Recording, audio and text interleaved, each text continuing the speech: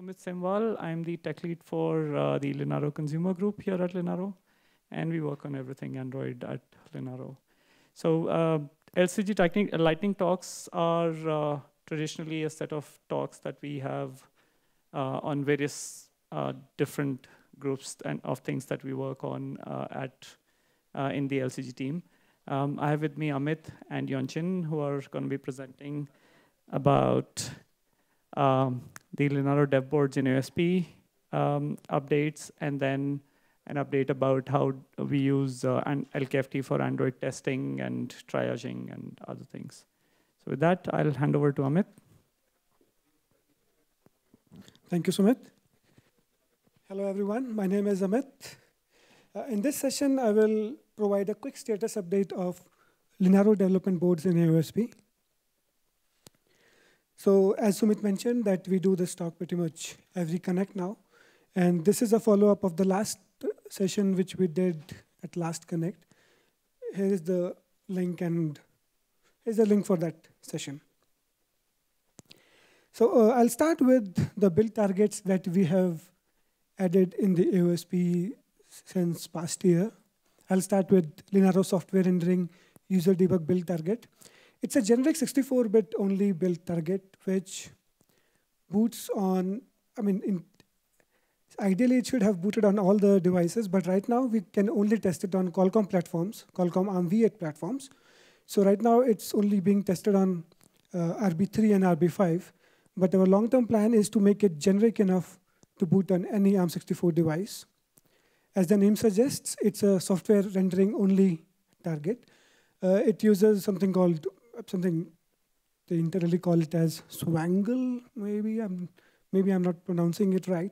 So it's a GLES software GLES implementation on top of SwiftShader's Vulkan implementation, which is, again, uh, software. Uh, you won't find this in the launch target because, as I mentioned, it's an experimental build target. And we have primarily used it for uh, AOSP bring up on newer SOCs or pre-silicon SOCs. Uh, another target being added recently is SM8X50 uh, user debug build target. Uh, it's a 64-bit only generic build target, uh, which targets uh, Qualcomm's ARMv9 dev boards. So that includes 8450, 8550, and 8650. Uh, it boots to UI with software rendering uh, while we are waiting for the firmware binaries to land upstream or in uh, Linux firmware Git project. It's a unified build target, as I mentioned. It boots on 8450, 8550, 8650. Uh, but it is different from the other unified build target which we have, which is DB845C user debug. And the trick here is that upstream do not accept Qualcomm MSM IDs or platform IDs upstream. So we have to add those device tree properties as an overlay during the compile time.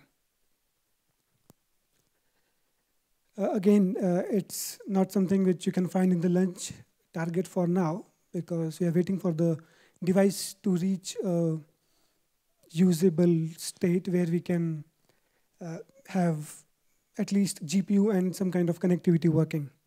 But we are working on set of instructions where you can extract the firmware binaries from stock images provided by the board vendor, and then you can ADB sync to the running 8x50 user debug target or manually add those binaries. The support is already there in the sources. So another build target change, or rather a cosmetic change, which we did was on RB5 user debug build target. Uh, so RB5 support is already there in DB845C user debug build target for a very time, for, for a long time now. And this target was kind of redundant. So we wrote a blog on that some time back. So we thought that it's time now to retire this build target and use DB845C user debug build target to test both DB845C and RB5. Uh, our LKFT builds are already using a DB845C user debug build target to test both the devices. Uh, speaking of LKFT and test runs, uh, we have added support for MMC boot on DB845C.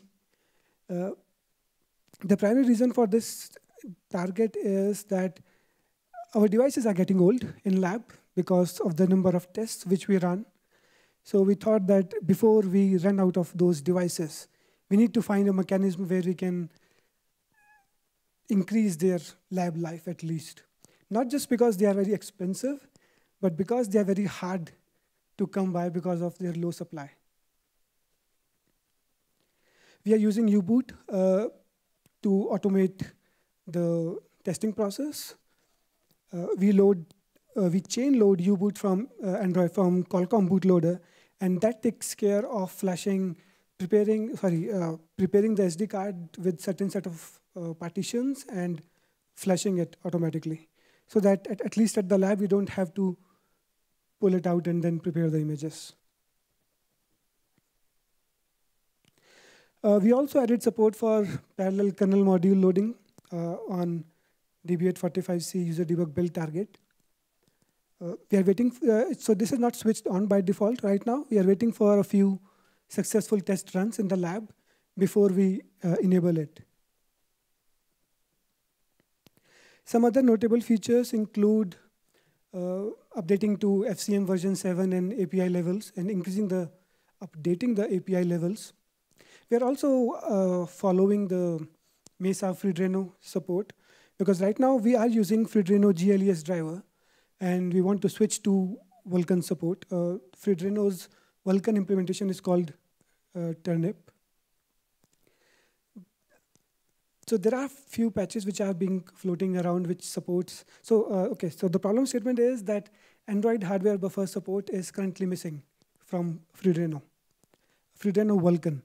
So we are waiting for that to land before we enable the full Vulkan support. Right now, you can we can switch on the Vulkan support and fall back to uh, Skia GL for hardware UI rendering. And that's exactly what we are doing for 8550 because 8550 or 8450, 8650, they don't have GLES support in Freedreno. Uh, they use Vulkan. So we have to switch to Vulkan. And we used, uh, we switched that, we switched to that Vulkan support with this uh, Skia GL support. Uh, one quick update on this is that I think last week or last to last week, uh, uh, Rob Clark had pulled one, uh, had rebased a set of patches which implements Android hardware buffer support uh, in Freedreno, uh, but we have not tested it yet. So if that works out fine, then we will switch all our devices to Vulkan. Uh, here's the list of work in progress or to-do items which we have. Uh, as I mentioned that, uh, okay, so I forgot to mention that we use uh, upstream fork of uh, U-Boot for RB3 and RB5. Uh, we will switch to uh, AOSP U-Boot project uh, because it has all the Android goodies which we currently lack in upstream U-Boot.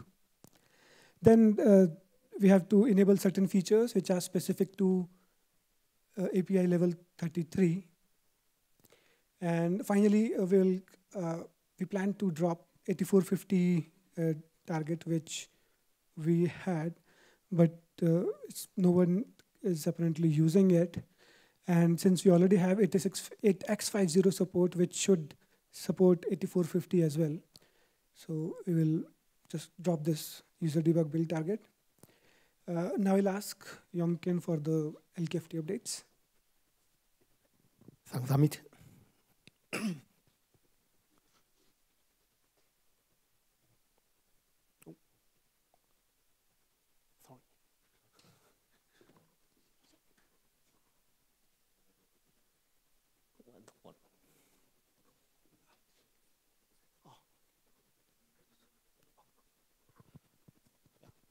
Uh, hello, everyone. Uh, I'm Yongqin Liu uh, from the Linaro Consumer Group. Uh, here I will give an update on the LKFT project, for Android project. Uh, the uh, framework is a collection of hardware, of software tools and hardware devices. Our for Android includes running the relevant subset of CTS VTS on Linaro managed dev uh, both, and uh, will try triage the results report and fix the bugs found. Mm, the tests are run on four devices uh, with four, five user space, uh, 15 kernel, resulting in a total of 78 combinations on a daily basis. We have run 1.17 billion tests uh, since last year, uh, and uh, about 3.44 billion tests since starting. Uh, the, fo uh, the following slides are about uh, one GUI tools uh, we de uh, developed for our internal use. On this page, we use a list of the configurations on what are tested, all the configurations that we tested based on the kernel versions and the AOSP versions and hardware platforms. the kernel, the kernel, the kernel column lists all the uh, kernel branches from the Android mainline to the 419 stable branch. And the other columns are the AOSP version from the AOSP main, uh, Android 14, Android 13 uh, to Android 11. And the cells there list all the configurations and uh, the configurations are based on the hardware platform like the RB12 and uh, RB3, DB843. There are links and numbers uh, in the page. Mm, with the links there, uh, it, uh, more details about the configurations uh, can be checked. Uh, here are three examples about the failures, checking the failures across configurations. The first example is about the failures reported by the same AOSP version, uh, but different kernel versions and uh, platforms. Uh, from the example, it can be seen that uh, the failure reported by uh, all the 5.4, 5.10, 5.15 kernels. And there are also some failures only reported by the HiKey 960 dialboss. The second uh, example is about the failure reported by the same commit, uh, same kernel commit, but different AOSP versions and platforms.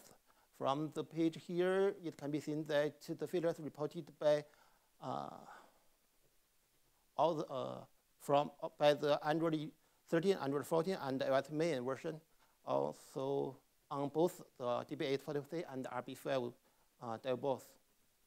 The third example is about the uh, failures reported by the same configuration, that's uh, the same AOSP version, same platform, and the same kernel, uh, kernel branch. But um, from different uh, kernel commits. Uh, from the page here, it can be seen that uh, the failures re um, is reported stably for all the last 10 builds.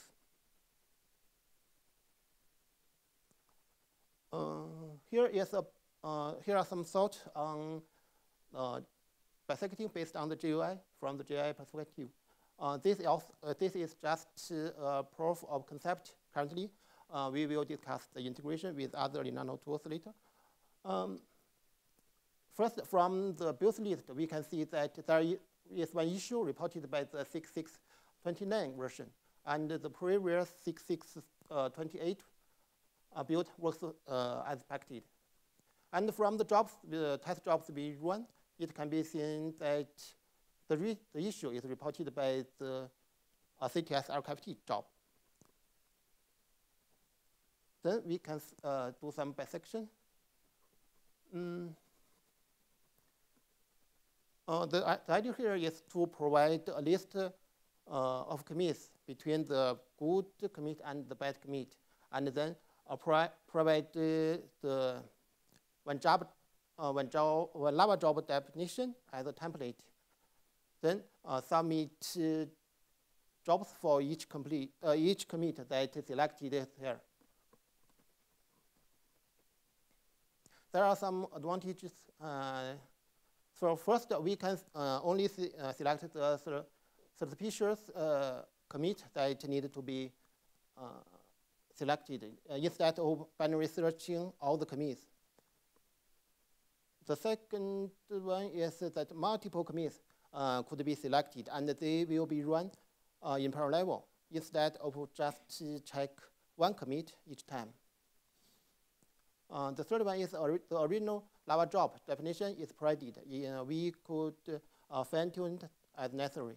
Like for the CTS job, we can uh, make uh, make it just run one, just run the field test case instead of all the models that we ran before uh, during in the original job.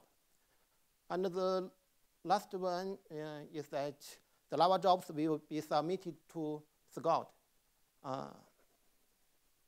so that we can utilize many SQUAD features there.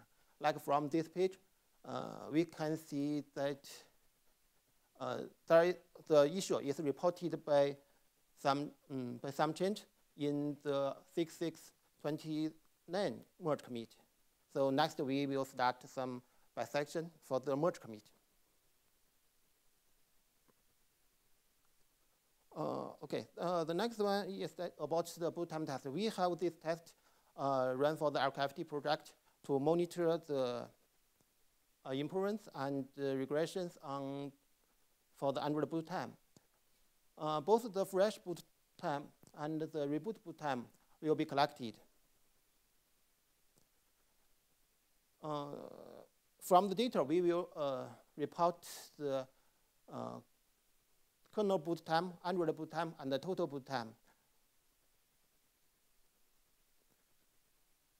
So that uh, out, uh, the changes uh, on the kernel side and then the, on the user space side could be covered by the test. For the report, the data for the last uh, build will be reported in a table format. And from the table format, we is obviously to see if there is any regressions or any improvements there.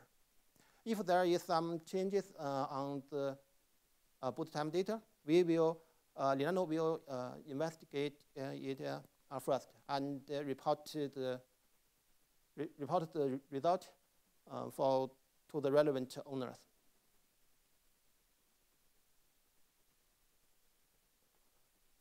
here are some comments related related to the boot time test we used for the LKFT project. Uh, but here, I'm not going to the details here. So if anyone has any details on it, uh, could reach out to us.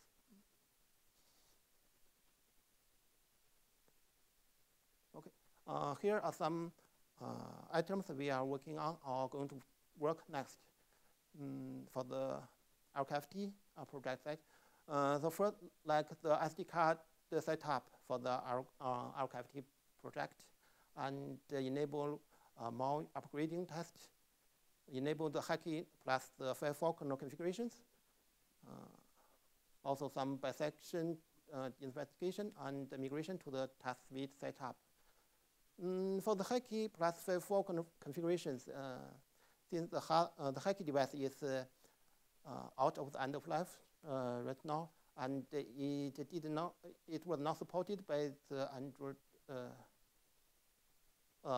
but not supported by the uh, Firefox kernel yet. Uh,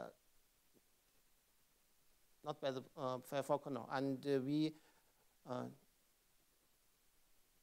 but yes, still, the device is still stronger, and we are we can to reuse it and make more of it. So we did some work there and try to see how long we can keep it going. Oh, that's all. Thank you. Thanks, Sanchin. Thanks, Amit. So yeah, we are open for any questions. Uh, right after this, we have the Android BOF, where we are going to discuss a few items, and it's a BOF, so if you have things that you'd like to be discussed, we can do that. One slide that's not here, which uh, I thought I'll talk in the BOF, was around uh, 16K page support. So following Google's guidelines on trying out uh, on uh, dev boards, we have been able to get that to work on the DB845C. Uh, we found some issues with the GPU uh, side of things. So we we are working on getting those sorted, but we are able to do a comparative test on uh, software-only build. So that's another update that's not here. Um, any questions?